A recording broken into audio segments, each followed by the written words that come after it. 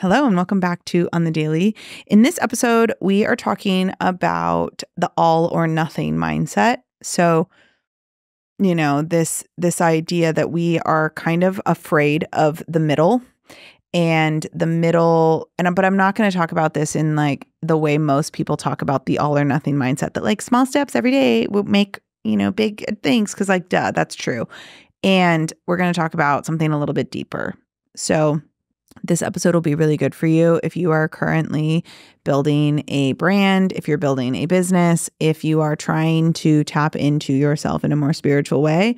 This episode is for sure for you. So let's dive in. We are coming up on your last opportunity to purchase Money Boo Thang, which is my money mindset masterclass or mini program, I should say all about money mindset, how to shift your relationship with money, how to become a better conduit for money, how to create a passive income stream that is on monthly recurring revenue within your business. And no, I'm not talking about the MRR course that you bought for $497. I'm talking about how to actually set up your business in a strategic way so that you can have passive monthly recurring revenue all the time. And I'm also talking about running your business according to a lunar the lunar cycle, which is so important. And I don't know why more people don't do this because our collective energy is connected to the moon. The moon rules our emotions. And so, when the moon, depending on where the moon is at in the sky, people are going to have different buying patterns. They're going to have different energy. And so, I'm going to teach you about that. I'm also going to teach you where to look in your chart for how you're meant to make money. And it's a really, really great mini program. It's all podcast style. So you'll get immediate access as soon as you register. And um, it's only available until the end of October. So I hope that you jump in. Okay. So this all or nothing mindset. Now, um, one thing that I, it makes me think of like my son is my son, and um, I was a theater major, so I have a flair for the dramatics, and um, I don't. I don't know if my son will have a flair for the dramatics, but he does now. And one thing, like he'll he'll like fall, or he'll like, you know, the cats will scratch him, and he'll like throw a fit, and he'll be like, "They scratched me." And one thing I always say to him is like, "Okay, but did you die though?" No, you didn't die. So like we're good. And then I started thinking about like actually kind of how um because I feel like a lot of people have that like oh I didn't die though. Like I'll be fine. Like it'll be fine. And fine is just something that we've all as a collective kind of gotten used to as uh acceptable. As long as things are fine we're good right? Like oh but I didn't die though and it's like very detrimental actually. So i'm like checking myself a little bit right here but that's a very like detrimental mindset. Like oh but at least i like uh, but did you die though? Like why does it have to get that far? Like why does anything in our life have to get so far that your the the rationale you have behind it is that you didn't die? Like why can't those in between moments actually be extraordinary? Why can't we get to a place in life and in business where, like, we're not just looking for what we can settle for. We're we're looking for like actually what is the best choice and what's going to be the most abundant and the most delusional thing. And I feel like there's a lot of people that and this is the collective energy too. The collective energy is that you should just be grateful for what you have. Like you don't need, it doesn't need to be excessive, blankety blank, blank, blank. But then what happens on the other side of that is that like things will get like pretty dire, maybe with our finances or with our body image or with the way that we see the world around us. We'll live in a lot of fear, but we are like fine with it because, well, it's not killing us. Like what doesn't kill you makes you stronger. But the things that like are nowhere near killing you can also make you strong.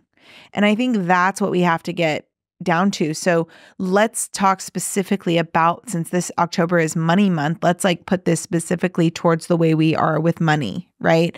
We get into functional freeze states with money where you know that meme where it's like a little cartoon character sitting in a built like in a room that's like fully on fire and they're like it's fine. I'm fine. That is exactly what I'm talking about. Like people with their finances are literally sitting in a burning building and they're like not burned up yet. So like it's fine. I'll let this go a little bit longer because at least because I haven't died yet. And as long as I don't die, like I'll be fine. And fine, if we break down the word fine, what I think fine stands for is fucked up, insecure, neurotic, and emotional. I don't ever want to be fine. Like, fine is not something that I want for my life. Fine is not something I want for my family's life. Fine is unacceptable. And if the relationship you have with your finances is like yeah like i i'm struggling paycheck to paycheck like there's always more month at the end of the money like i'm not able to pay my bills on time but like it's fine it's fine i'm not i'm not dead yet i'll figure it out that is such a low vibrational frequency, and you will never have financial abundance with that mindset. You will never have financial abundance if that is your reality. Because the fact that we've allowed ourselves to use like dying as the baseline, eh, as long as we're, as long as it's better than dying, no, like that that to me is so damaging. And it's where so many people are with their finances. Like they can barely pay their rent, they can barely pay their mortgage, but they're like, yeah, but it's fine. I don't need more than that. I don't need more than barely getting by. Yes, you do. Yes, you do. And even if you don't need it, you want it. So, why are we trying to pretend that that's not the case? Why are we trying to get into this this space of, well, it was better than death. So, like, I'm good. There is a whole world out there. And, and the place where money coming into your life, there's a place where it becomes so easy to make money when we are no longer just accepting the scraps as good enough, when we're no longer accepting fine as the status quo. Like my status quo is delusional. If it's not delusional and fun and abundant, I don't want it. People treat abundance and freedom and like overflow like it's something special, like it's a treat they have to earn. That's not something you have to earn. That can literally be your birthright if you decide that it's your birthright.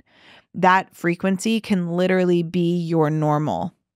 But in order to in order for something to feel normal, you must first normalize it. And unfortunately, we are not conditioned to see overflow, delusion, abundance as normal. We see that as selfish and greedy and unobtainable. So we have to change our mindset around this. You have to you have to heal the relationship you have with money so that fine and barely making it and good enough are no longer parts of your vocabulary. They're no longer part of your reality. That's not something that you strive for. I don't strive for good enough. I don't strive for fine. Fine is bad. Good enough sucks. I don't strive for that. I strive for this is insanity. This is delusion. This is this is quite literally overflow defined. That's my standard. Anything above that is awesome, but that's the standard.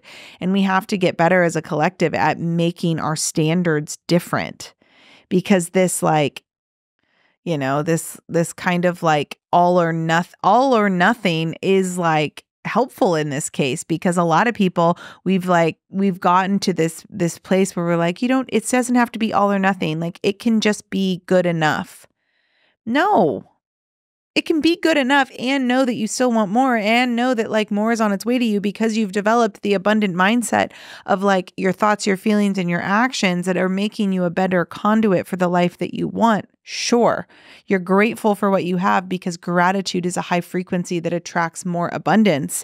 But that doesn't mean that you have to accept fine or barely making it as good enough because the facts are it's not. It's not. It never has been. It never will be.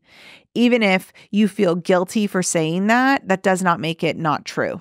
It's still true, even if you feel guilt. It's the guilt you need to heal from that. It's the way that it's the way that admitting that overflow is something that you feel worthy of. It's the guilt of that you have to heal. It's not actually the fact that you're worthy of overflow. That is just that's a given. You what you have to heal is the feeling it gives you when you say that out loud. The guilt, the shame, the fear that you're going to leave people behind. Oh my gosh, so such a real one. No, and, and no, it doesn't have to be all or nothing, but don't go so far into it doesn't have to be all or nothing that you start to accept good enough. Because too long of accepting good enough will keep you in not enough. And it will keep you in the belief that other people have more than you and you're just not worthy of it. But the reason you're not worthy of it and the reason you're not attracting more is because you have signaled to the universe that you're okay with struggling as long as you don't die. So the universe is like, well, that's easy. Okay, you're not going to die, but like you'll continue to struggle, sure.